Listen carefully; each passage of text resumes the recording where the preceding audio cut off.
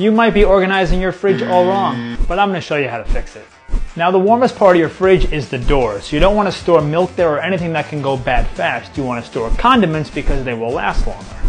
Now on the bottom you want your meats because the meats can actually leak and you don't want them to leak on any other food, so they go on the bottom. Now you have your vegetables and your fruits in two separate sides in the crisper drawers and you have them separated so that they last longer. Now the coldest part of your fridge is actually the middle of your fridge, so you want to keep anything here that has to remain very cold, any milk, any cheese, things like that. Now on the top, I don't have very much here, but if you have leftovers or anything that might go bad fast, you want to keep that at the very top so that you don't lose track of it. Now the top of your fridge actually does get kind of warm, so I have pots and pans up here. If you have any bread, any wine, don't keep that up there, it will eventually spoil. Now generally speaking, your freezer should be set at 0 degrees Fahrenheit and your fridge should be set at about 40 degrees Fahrenheit as well.